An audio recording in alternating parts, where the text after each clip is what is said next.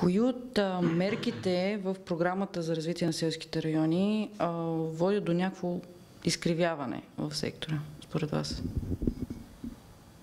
Ами то в известен смисъл цялата програма води до изкривяване. А, как по, по това, че се стимулират в много случаи безсмислени инвестиции. Само и само за да бъде одобрен един проект, той се натоварва с неща, от които практически няма нужда. А, и точно защото новия прием по 4.1 влезе с нови критерии, а, тук е място да дам един пример, защото той а, няма да работи добре и няма да постигне достатъчно добри резултати, според мен. А, от една страна, овощарството е приоритет, не така. А, ние имаме клиенти, които са, се занимават с производство на плодове. Те са в селски район, в необлагодетелствен район а, и да кажем от 40 дека риска да се увеличат площа на 80. А, те не са грубо казано шанаджи или някакви мошеници, на които по всякакъв начин биха направили а, така, че проектът им да влезе. Какво им предвид? Човек с 40 декара вложки практически все още няма нужда от собствена техника. Той преспокойно може да си работи земята с нейната техника. Съответно, няма как да а, старата техника, например, да я замени с нова а, и да получи точки за енергийна ефективност. Той няма нужда да строи, защото на този етап не му е необходимо да строи. А, няма нужда да назначава още един работник. Защо назначава, ако наистина няма нужда?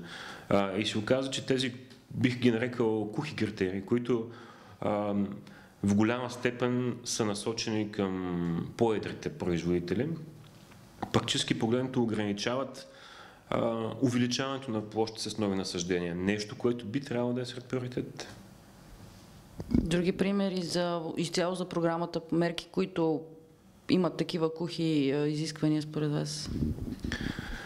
Ами, очевидно е, че критерият за иновации не работи. Защо изобщо съществува, ако той не е направен така, че да работи?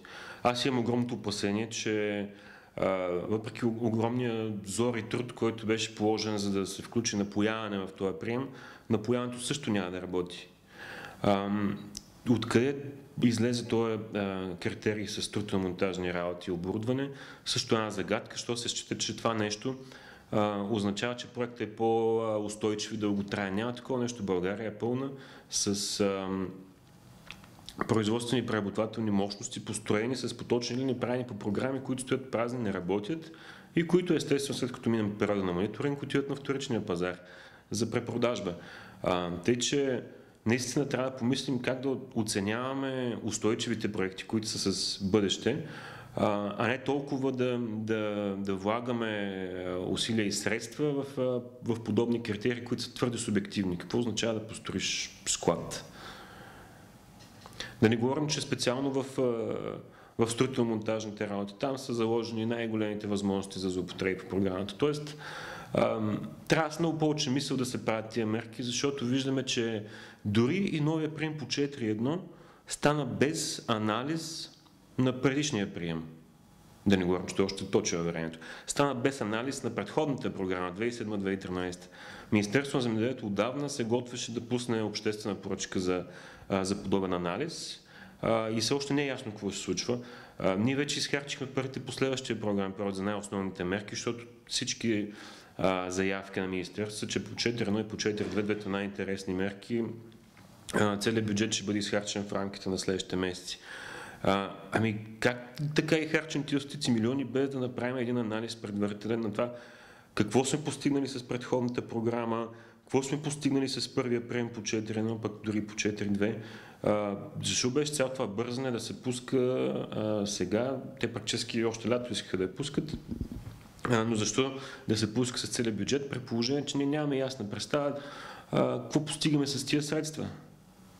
И дали ще останат а, за след това, ако се наложи да се отваря отново?